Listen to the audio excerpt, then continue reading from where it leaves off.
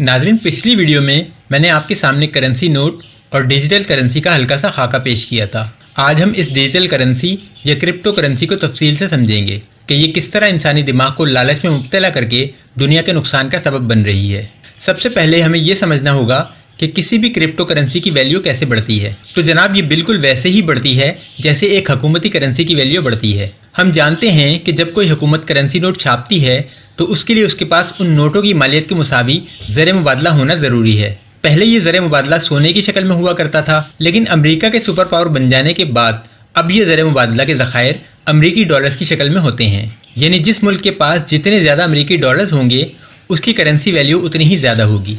इसमें मज़ीद पेचीदगियाँ भी होती हैं लेकिन चूँकि हमारा आज का ये मौजू नहीं, लिहाजा हम इससे ज़्यादा इसकी तफसील में नहीं जाएँगे। हम शुरू करते हैं हाल ही में शुरू होने वाले पाई नेटवर्क से। पाई नेटवर्क में ये सहूलत है कि ये अब मोबाइल से भी माइन की जा सकती है। बस आप ऐप डाउनलोड कर लें और दिन में सिर्फ़ एक बार इसे माइनिंग पर लगा दें। जब आप इसका आगाज़ करते हैं तो उसकी माइनिंग की रफ्तार बहुत सुस्त होती है। लेकिन आपको ये इतमान होता है कि रोज़ाना आपके कॉइन्स में कुछ ना कुछ इजाफा हो रहा है। बेशक वो इजाफा अशारिया में हो।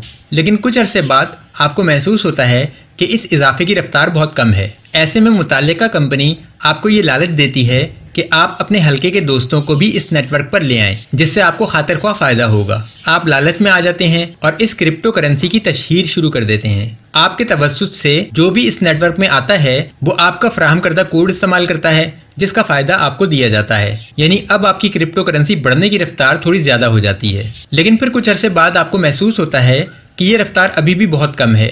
ये वो वक्त होता है जब आप इस करेंसी पर इन्वेस्टमेंट का सोचने लग जाते हैं। उस वक्त आपको बताया जाता है कि आप मुतल कंपनी से एक डॉलर के अवस इतने कॉइन खरीद सकते हैं। यानी अब एक ख्याली करेंसी को खरीदने के लिए आपको मादी करेंसी की ज़रूरत पड़ जाती है। आप इसके लिए अपना क्रेडिट कार्ड इस्तेमाल करते हैं और अपने बैंक के ज़रिए उस कंपनी को बाकायदा पेमेंट करके कुछ कॉइन खरीद लेते हैं। अब इसके लिए आपके बैंक को क्या करना पड़ता है? ये बात बड़ी दिलचस्प है। जब आप अपने क्रेडिट कार्ड के ज़रिए ये कॉइन्स खरीदते हैं तो उसके लिए रकम की अदायगी आपको डॉलर्स में करनी होती है। लेकिन फ़र्ज़ कीजिए, आप पाकिस्तान में हैं तो ज़ाहिर है कि आपका अकाउंट पाकिस्तानी रुपए में ही होगा। तो अब ये काम कैसे होगा? मैं पहले बता चुका कि जब कोई हुकूमत अपना करेंसी नोट जारी करती है तो वो इस बात की पाबंद होती है कि आपके मुतालबे पर इस नोट के मुसावी अशिया आपको फराहम करे। लिहाजा बैंक इस बात पर मजबूर हो जाता है कि पहले आपके पाकिस्तानी रुपए से डॉलर खरीदे और फिर उन डॉलर्स में वो अदायगी करे जो आपको मतलूब है। यानी बैंक आपके पाकिस्तानी रुपयों के अवस पाकिस्तान के ज़रिए मुबादला के जखायर में से डॉलर्स लेता है और उन डॉलर्स को मुतल कंपनी को भिजवा देता है।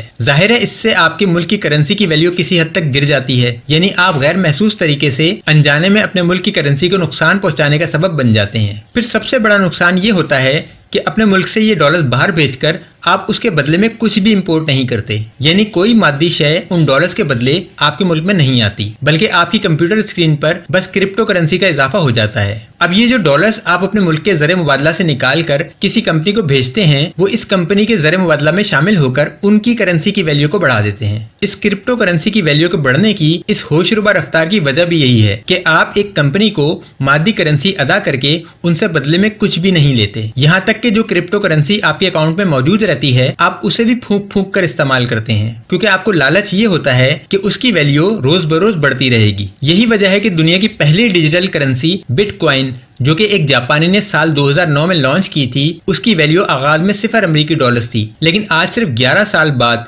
एक बिटकॉइन की कीमत छप्पन हज़ार आठ सौ सत्रह अमरीकी डॉलर्स, यानी छियासी लाख सतासी हज़ार तीन सौ पैंसठ रूपए हो चुकी है। दुनिया ने मादी करेंसी को क्रेडिट कार्ड्स में बदलते देखा, फिर क्रेडिट कार्ड्स को डिजिटल करेंसी में बदलते देखा। तो उन्हें ये यकीन हो गया कि आगे आने वाले वक्त में दुनिया का मुस्तबिल यही क्रिप्टो करेंसी है, लिहाजा लोग इंतहाई तेज रफ्तारी से उस पर अपना पैसा इन्वेस्ट करने लगे। जितनी रफ्तार से लोगों ने पैसा इन्वेस्ट किया, उतनी ही रफ्तार से बिटकॉइन की वैल्यू बढ़ती गई। खासतौर पर कोरोना वायरस के बाद दुनिया का रुझान ऑनलाइन कारोबार की तरफ़ बढ़ा तो इस करेंसी की मकबूलियत में भी होशरुबा इजाफे देखने में आए। अब हो ये रहा है कि दुनिया के तमाम ममालिक के ज़र मुबादला के ज़खायर जो उनके ख़जानों में होने चाहिए थे, वो एक प्राइवेट कंपनी के ज़र मुबादला में मुंतकिल होना शुरू हो गए। दुनिया के बेशतर ममालिक में इसे कानूनी हैसियत दे दी गई, जिनमें अमरीका, कनाडा बल्कि हमारा पड़ोसी मुल्क भारत तक शामिल है। लेकिन पाकिस्तान समेत कई ममालिक में ये अभी तक गैर कानूनी तस्लीम की जाती है। यहाँ ये अमर भी काबिल ज़िक्र है कि इस बिटकॉइन को शुरू में ही तस्लीम कर लेने वाले ममालिक में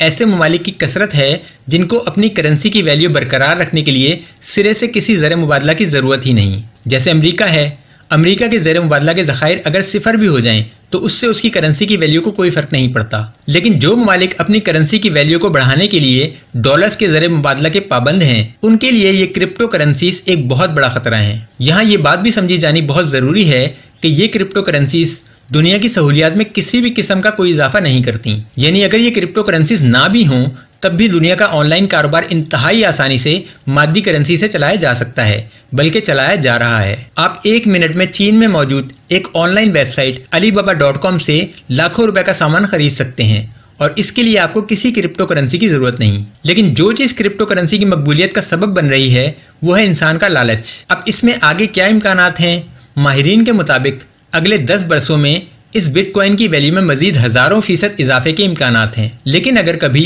तमाम ममालिक ने इसके नुकसान का अंदाज़ा लगाते हुए इसे दुनिया के हर मुल्क से हर किस्म की ट्रांजेक्शन के लिए गैर कानूनी करार दे दिया तो यकीन जाने, सिर्फ़ एक ही दिन में बिटकॉइन की वैल्यू दोबारा सिफर पर आ जाएगी। क्योंकि करेंसी वैल्यू में ये ज़रूरी नहीं होता कि जितनी करेंसी मार्केट में गर्दिश कर रही है, उसके जिम्मेदारान के पास उसके मुताबिक जेर मुबादला हर वक्त मौजूद हो। बल्कि अंदाज़ा सिर्फ़ ये लगाया जाता है कि एक साल में कितने लोग इस करेंसी को किसी दूसरी करेंसी से बदलते हैं। बस इतना ही जर मुबादला हुकूमतें अपने पास रखने की पाबंद होती हैं। अगर ये मकदार सौ रुपए पर दस रुपए हो तो समझे हुकूमत इस दस रुपए के मुसावी जर मुबादला अपने पास रखने की पाबंद होती है। बाकी तमाम सरमाया गर्दिश में होता है। अगर किसी मुल्क के तमाम शहरी अपने पास मौजूद तमाम रकम किसी दूसरी शहर में बदलने का मुतालबा एक साथ कर दें, जो कि उनका हक है तो वो हुकूमत क्रैश कर जाएगी। यही मामला बिटकॉइन के साथ भी हो सकता है। यानी अगर मैं फ़र्ज़ कर लूँ कि बिटकॉइन लॉन्च करने वाली कंपनी ने आज तक सिर्फ़ सौ बिटकॉइंस का इजरा किया है तो ये ज़रूरी नहीं कि इन 100 बिटकॉइंस के मुसावी डॉलर्स, जो कि छप्पन लाख इक्यासी हज़ार सात सौ डॉलर्स बनेंगे,